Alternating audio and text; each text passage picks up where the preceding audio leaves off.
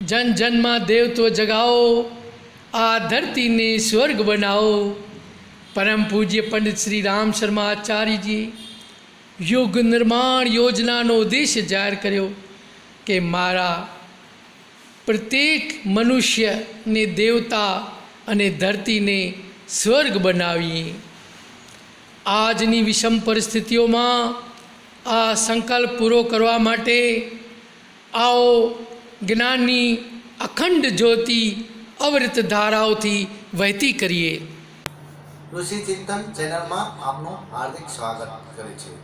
પંડિત શ્રી રામ શર્મા આચાર્ય લિખિત ઋષિ ચિંતનના સાનિધ્યની પુસ્તકમાંથી કેટલાક અંશો આપણી સમક્ષ રજૂ કરી રહ્યો છું. ઈચ્છાની આગમાં ન બરશો ઈચ્છા ઝેરનો ઘૂંટડો છે. જે પીવાથી કોઈ પણ મનુષ્ય પોતાના જીવનના સૌંદર્ય અને આનંદનો પોતાના હાથે નાશ કરી દે છે. ઈચ્છાને કારણે તે વ્યક્તિની અંદર એક ભયંકર આગ સળગતી રહે છે, જે તેને નિરંતર બાળ્યા કરે છે અને એક દિવસ ભસ્મીભૂત કરી નાખે છે. ઈચ્છા એક એવી તલવાર છે કે ચાલાવનારની પોતાનો જ નાશ કરી નાખે છે. ઈચ્છા એવી માનસિક દુર્બળતા અને સક્રિયતાનું પરિણામ છે. તેના કારણે મનુષ્ય લોકોની દ્રષ્ટિમાંથી ઉતરી જાય છે. આગને જ્યાં રાખવામાં આવે છે તે જ જગ્યાએ પહેલા સળગાવે છે.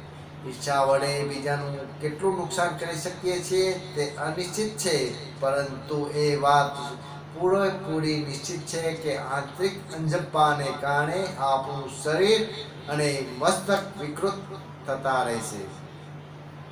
અને તે આગમાં આપણું સ્વાસ્થ્ય અને માનસિક સંતુલન ધીમે ધીમે બગડવા લાગશે. આ નુકસાન ધીમે ધીમે એક દિવસ આપણી બરબાદીના રૂપમાં સામે આવી જશે. ઈચ્છાને દૂર કરીને તેના સ્થાને પોતાની ત્રુટિઓ નબળાઈઓ પર ધ્યાન આપીને તેને દૂર કરવી જોઈએ. મનુષ્યને બીજાની ઈચ્છા થાય અને તેનું મુખ્ય કારણ પોતાની નબળાઈઓ ત્રુટિઓ અને સામર્થ્યહીનતા જ છે. આ બધાના કારણે લોકો નિષ્ફળ જાય છે અને બીજાઓની ઈચ્છા કરે છે આથી હંમેશા પોતાની નબળાઈઓ તથા ખામીઓ સમજીને તેમનું નિરાકરણ કરવું જોઈએ તથા સાથે સાથે પોતાના સ્વાભાવિક ગુણોને વધારવા જોઈએ. અખંડ જ્યોતિ, ફેબ્રુઆરી ઓગણીસો એકસાઠ, પેજ નંબર બત્રીસ. ગાયત્રી શક્તિપીઠ, જેતપુર આપનું હાર્દિક સ્વાગત કરે છે. જય ગુરુદેવ.